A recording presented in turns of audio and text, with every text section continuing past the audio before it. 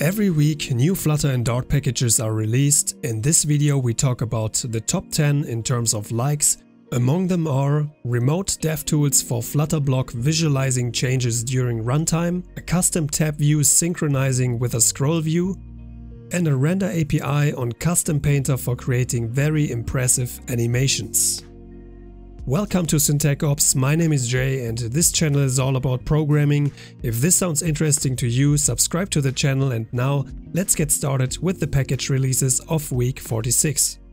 In Flutter we have input fields for any kind of data and every week new interfaces are added. For example, two weeks ago I introduced you to the package Flex Color Picker. Another new package is added, which gives us an interface for pin codes. With custom pin entry field, you get a fully customizable pin entry field that supports all platforms. If you are familiar with Laravel Eloquent, the next package might be interesting for you.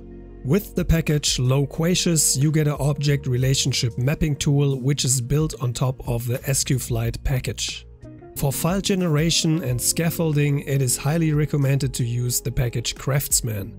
With the package comes a class named LQB, which helps you to create SQL statements with built-in functions instead of SQL. And here we can see a simple example on how to create a user with a username and password, how to edit a user and how to fetch all users from the database. If you need a splash screen and you prefer it to be quick and easy, take a look at the package My Splash Screen, which provides a widget of the same name that you only have to adjust using the respective attributes.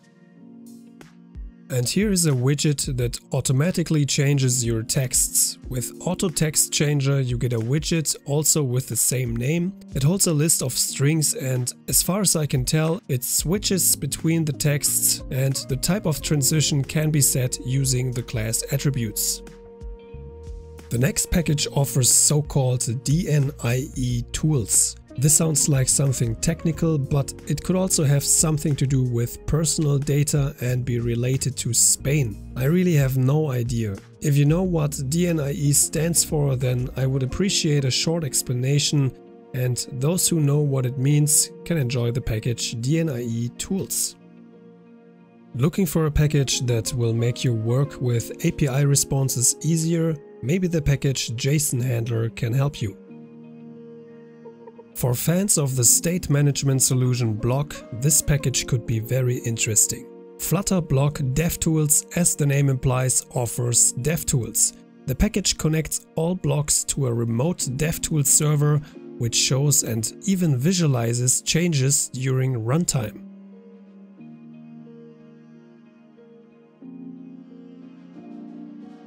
Here we have the number 3 with 9 likes and this is Forge 2D, a two-dimensional physics engine that works for web and Flutter. This package is from the publisher of the minimalist Flutter game engine Flame, which was introduced at Flutter Europe 7 months ago. With a white lead and a total of 27 likes, Scrollable List tab view becomes the second most liked package. With this package you can create a tab view which synchronizes with a scroll view. As you can see from the image, when scrolling down, the active tab is highlighted.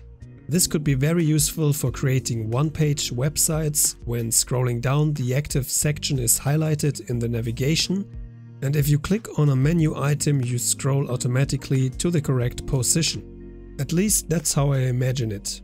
Very interesting, try it out.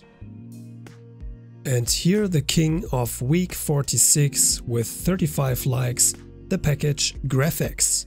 Rendering, prototyping and design with a Flash-alike render API on Custom Painter. The animations that can be created with this package are amazing and the possibilities seem to be limitless. As they say, a picture is worth a thousand words, so let us have a look at the example animations in the documentation and man, there are a lot.